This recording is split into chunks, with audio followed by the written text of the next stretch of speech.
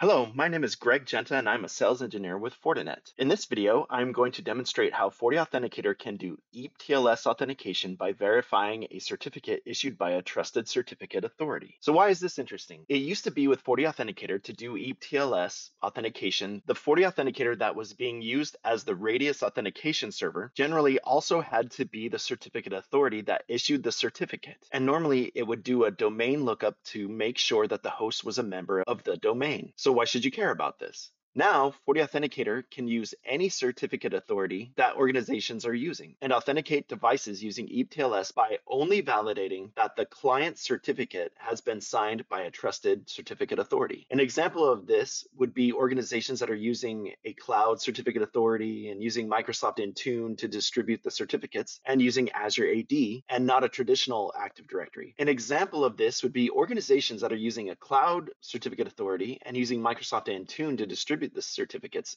and using Azure AD and not a traditional AD can now use FortiAuthenticator to do on-prem EAP-TLS authentication using the cloud certificate authority or any other certificate authority. Another use case is that organizations can have multiple certificate authorities now and have all of their machines be able to connect to the same SSID and FortiAuthenticator can authenticate all of those devices. Let's jump into the demo. Okay, I'm going to start by showing the radius policy that you need to create in FortiAuthenticator to do EAP-TLS. So you choose the Radius clients. In my scenario, it's the FortiGate or anything else that could potentially be sending Radius requests to FortiAuthenticator. Here, this policy needs to match a Radius attribute.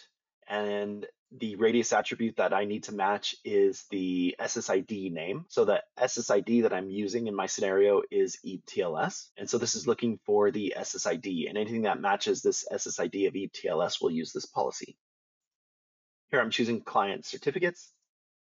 Now notice instead of using certificate bindings, which would be the local FortiAuthenticator acting as a certificate authority, I am using trusted certificate authority certificates. So these I have imported into FortiAuthenticator and these are other CAs that are not this FortiAuthenticator that is doing the EAP-TLS. I'm adding both of these to this policy, and I have a host that has a certificate from each of these certificate authorities, and we are going to log in both of those devices, each of them with a certificate signed by a different certificate authority. And FortiAuthenticator is going to allow that access.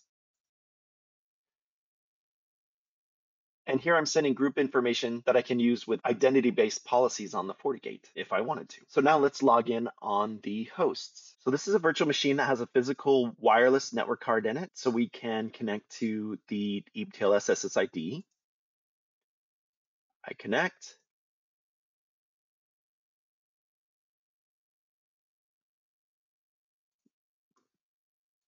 The connection successful. Now let's look how the supplicant is set up on this host. So we'll go to the security tab here. You'll choose smart card or other certificate. In this section, you will choose a certificate or root certificate that FortiAuthenticator is using to start EAP-TLS. So let me show you where that is back on FortiAuthenticator, you go to certificates and notice this is a certificate that I'm using to start the EAP server on the FortiAuthenticator. So this is actually a different certificate that on your host you will want to trust to initiate the connection to the EAP-TLS. It's not necessarily a requirement. If you don't have it, you will just get an error that you may have seen before that will say, Are you sure you want to connect to this SSID? Because it's not necessarily trusted. That's because the certificate that started the EAP server is not trusted by the host if you get that error. If you know you're going to connect to that SSID and you know the certificate, then you can upload the root certificate to the host as well, and you wouldn't get that error. This is where you choose the root of uh, the certificate that FortiAuthenticator is using to start the EAP server. Now, to choose the certificate that you are actually connecting with, you don't actually choose the certificate, you choose the root of the cert that signed the cert that you have on the machine. So the cert on the machine was signed by this certificate authority, and so I just go in and choose that. Let's take a look at the certificate stores here on this machine, and hopefully this will make more sense. So under personal, this is the certificate that was signed by this CA up above there. So you can see the certificate path here. So this is the certificate that was signed by this certificate authority. And so here I choose this certificate authority, which the supplicant will then present this certificate because this is a certificate that has been signed by that certificate authority. So once you have that, that's all you need to do. And FortiAuthenticator also has this root certificate installed and it is looking for that information. You have to put that here for trusted CAs under certificates and then again, in the policy, you call it out. We've already seen this, but let me just go through this really quick. And in the policy, you call out those certificate authorities as well. So that is this certificate authority right here that we're using for this computer. Now on the FortiGate, which is also my wireless controller, let's refresh here.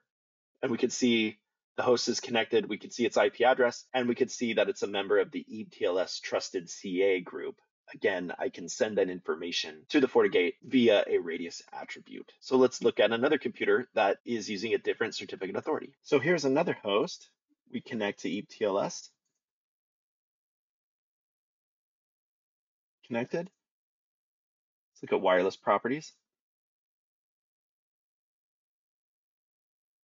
Again, this is the local FortiAuthenticator that started its EAP server with a certificate, so I have uploaded that and trusted that.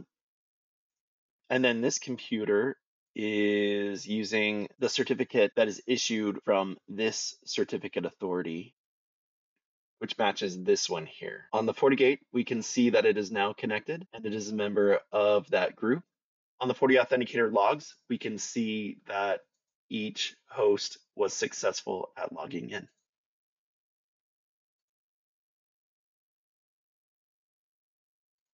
Thank you for watching this video. If you have any questions, please contact the Fortinet sales team for your area. Thank you.